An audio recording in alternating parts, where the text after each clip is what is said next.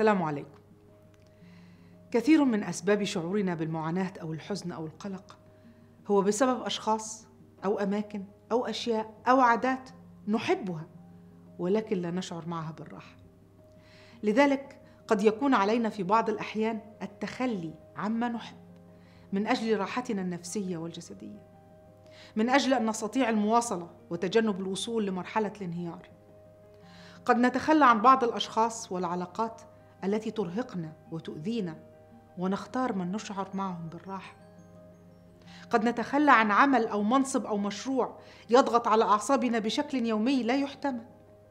قد نتخلى عن الطعام والتدخين والسهر لنريح أجسادنا قبل أن يخبرنا المرض بأن أجسادنا لم تستطع المواصلة.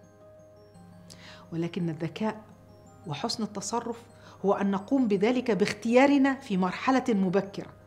وليس عندما يجبرنا المرض أو الظروف على ذلك في مراحل متأخرة أو بعد فوات الأوان. عندما تخيرك الدنيا بين ما تحب وبين ما يريحك اختر ما يريحك. لأنك إذا لم تكن مرتاحا مع شيء تحبه تأكد إنك مع الوقت ستكرهه. وتأكد إن مع استمراره لوقت طويل سوف يؤذيك لدرجة قد لا تتخيلها وقد لا ينفع معها الندم.